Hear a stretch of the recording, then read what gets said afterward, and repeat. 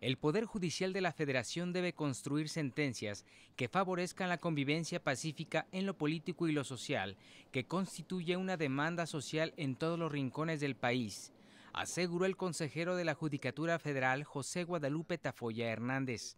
Permitirá el intercambio de ideas e impresiones fructíferos, sin duda, para la construcción de criterios y sentencias que, a la postre, habrán de favorecer la convivencia pacífica tan demandada en estos últimos momentos? Lo anterior, afirmó Tafoya Hernández, solo es posible en un Estado que se sustenta en la justicia. Convivencia, que solo puede llevarse a cabo con esa cualidad, con la cualidad de pacífica, en un Estado que se sustenta en la justicia y en la credibilidad de las instituciones. El consejero de la Judicatura Federal inauguró en la ciudad de Guanajuato el ciclo de conferencias Voces de la Justicia Federal en Guanajuato a 30 años de la instalación del 16 circuito.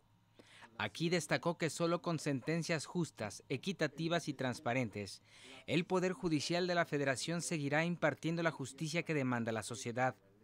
Al hablar sobre el nuevo sistema procesal penal, el consejero Tafoya Hernández destacó que tal cambio de paradigma obliga a las y los juzgadores federales a actuar con el mayor de los compromisos institucionales y a aplicar con exhaustividad la ley para generar jurisprudencia que apuntale el éxito y viabilidad del mismo.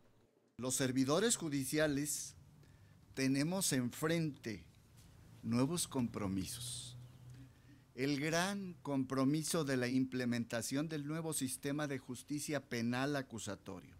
El trabajo día a día se encamina a la aplicación de normas e instituciones que orienten decisiones justas, equitativas y transparentes en los litigios que se resuelven. El ciclo de conferencias durará toda la semana en el estado de Guanajuato y será clausurado por el ministro presidente Luis María Aguilar Morales el próximo viernes. Canal Judicial, Miguel Nila Cedillo.